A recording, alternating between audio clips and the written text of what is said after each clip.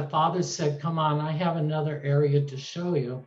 And just in a flash, in a twinkling of an eye, I was in this wonderful carpentry shop and pe- people were busy working. And I looked and I noticed a lot of the same tools that we had used on Earth. I saw a plane there. I saw a spokeshave that you use for shaping the wood. I didn't see any power saw. I did, but I did see something that was like a handsaw for cutting wood. And I knew instantly that it was a carpentry shop. And before I could say anything, the father said, or you could build things for my children here as a carpenter, just like my son.